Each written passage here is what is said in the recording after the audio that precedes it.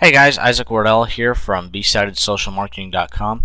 And in this video I want to talk to you about your photos and videos and how to edit their visibility. So if you come up here to this little gear box and you click Google Plus Settings and you scroll down to the bottom here you got the option to change the visibility of your photos and video tabs on your profile. So let's just go ahead and click the photos. Obviously this is where the photos it would be on your profile and you've got the option here to show this tab or not show this tab. Uh, it's up to you if you want your photos to be shared etc. And you've also got the option for uh, tags of who automatically can tag you, who's approved to, uh, etc.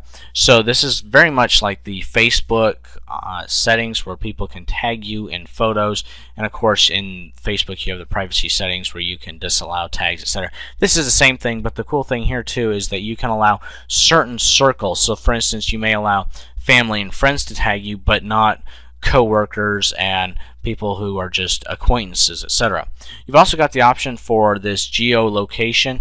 Uh, geo that means like your local location. So for instance, if you're at Mount Rushmore and you take a picture of you with the presence in the background, you could uh, you know tag yourself and then you could have the uh, image would also show the geolocation of South Dakota.